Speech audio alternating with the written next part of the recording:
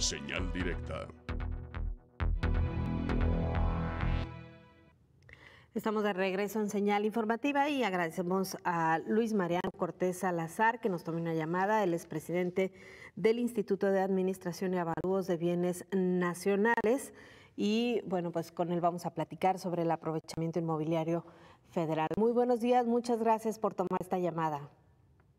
Buenos días y buenos días a todos los auditores. Muchas gracias. Bueno, si nos cuenta un, eh, poco sobre las políticas y acciones que se están eh, poniendo en marcha en estos momentos. Bueno, en estos momentos el instituto lo que está buscando es, como lo han mencionado ustedes, buscar el, eh, mejor aprovechamiento inmobiliario de, los bienes patrimoniales del país. Y bueno, a través de diferentes mecanismos que tenemos, lo que hacemos es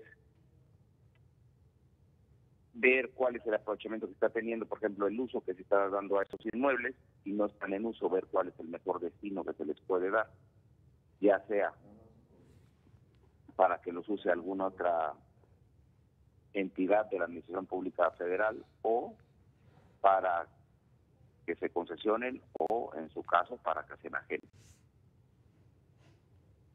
Claro, eh, ¿hay algún, eh, alguna forma de conocer exactamente cuál es el patrimonio de, la nación en este sentido?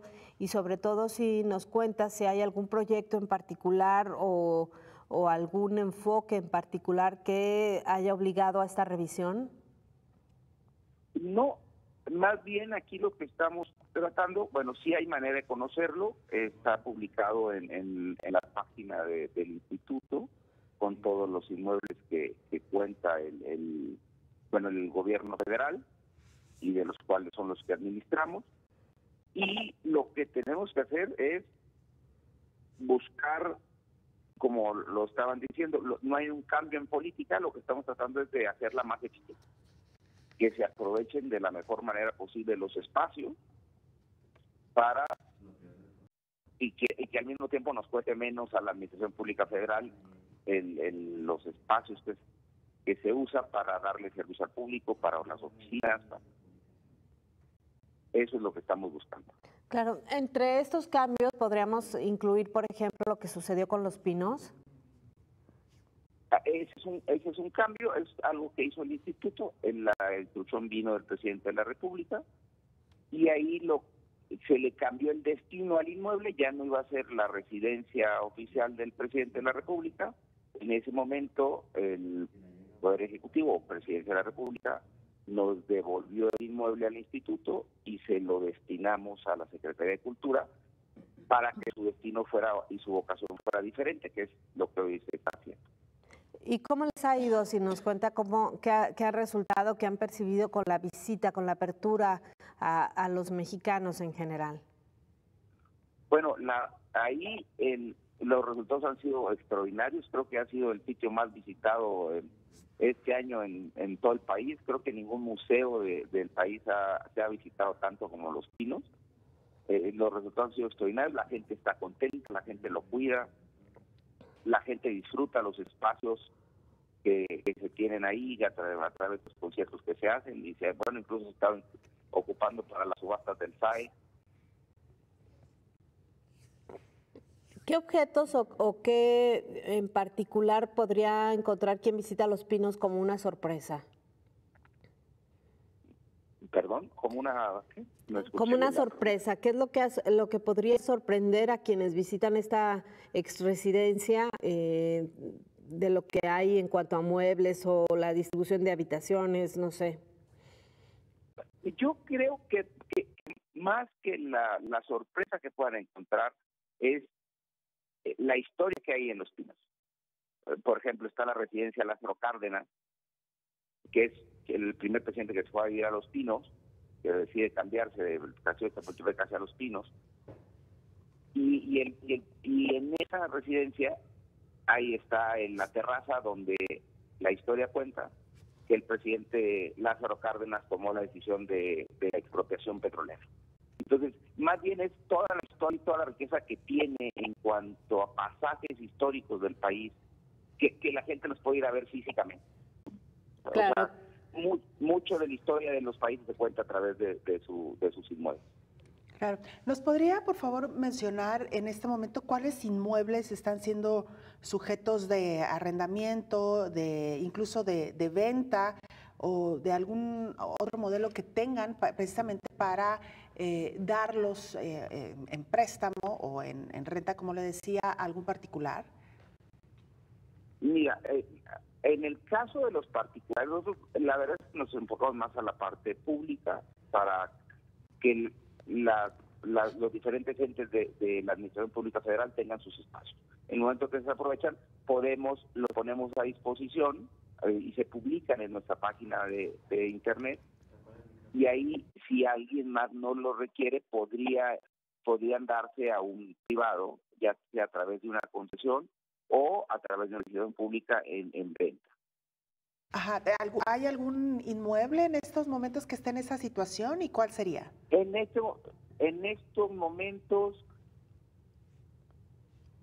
no tenemos nada en licitación, sí hay inmuebles concesionados, pero no hay nada que estemos ofreciendo en concesión. Y bueno, le, preguntaba ya eh, nuestra compañera Sonia acerca del inventario que, tienen. ¿Qué, pasa con este inventario? ¿Se está renovando constantemente? Es decir, ¿los inmuebles que se venden luego son sustituidos por otros que se adquieren? ¿O cómo funciona el, manejo, la administración de estos inmuebles? Digo, manejamos alrededor de 120 mil inmuebles, de los cuales 38 mil zonas son este, inmuebles religiosos y los demás no es no es una renovación, renovación constante si se adquieren nuevos inmuebles por parte de la Administración Pública Federal de acuerdo a las necesidades que, que se tengan y eso se van incorporando al inventario y luego al mismo tiempo que se están incorporando algunos hay otros que, de, que dejan de ser aprovechables desde el punto de vista uso de la Administración Pública Federal y, son los que se ponen a la venta. Eh, por ejemplo, puede ser un, un espacio que se compró en algún momento para poner una un centro de investigación que hoy ya no está en desuso porque quedó en una zona rural que ya no es ya no ya no se está haciendo investigación en esa zona eso puede poner a disposición se puede poner a disposición por parte del organismo que lo haya tenido y eso si nadie más lo ocupa se puede poner a, la venta, por ejemplo. Claro. Y, sobre eh, bienes que, pertenecen a, la nación y que pudieran haber sido desviados o entregados eh, sin la formalidad jurídica a otras personas o a empresas, ¿han encontrado algo? Que, que, que se hayan entregado a otras personas. Así es, sin la formalidad jurídica, es decir, que estén en posesión de quien no debe ser. Pues al momento no hemos encontrado nada. Digo, lo, lo, que ha sonado en los casos de, inmuebles que han pasado por el instituto, a lo mejor ha habido alguno que, que, que se ha cuestionado, digo, no en esta administración, de administraciones pasadas, que se ha cuestionado que se haya otorgado a un particular a través de una licitación pública o de una venta. Eh, siempre sí hemos encontrado cuestionamientos y los, bueno, el órgano interno de control o la Secretaría de la Función Pública a través del órgano interno de control ha revisado varios de estos casos y desde el punto de vista jurídico han estado bien otorgados. Claro. Y bueno, eh, el inventario, eh, ¿qué tan ordenado es? ¿Encontraron que todo lo que, lo que es de la nación está ahí? Eh, ¿El valor, el destino que se le da?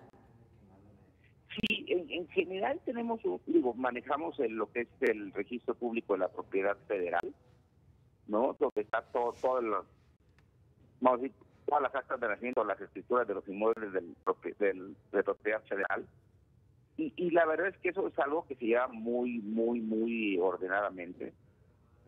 Incluso tenemos un archivo grandísimo, pero nosotros sabemos que es un acervo que además está vivo, porque si mañana hay que destinarle un inmueble a otra entidad, pues hay que sacar una escritura y esa escritura puede ser de hace 60 años o 80 años o bueno, tenemos una escritura de, de 1623 ahí en el acervo que tenemos, que es acredita propiedad de algún inmueble federal.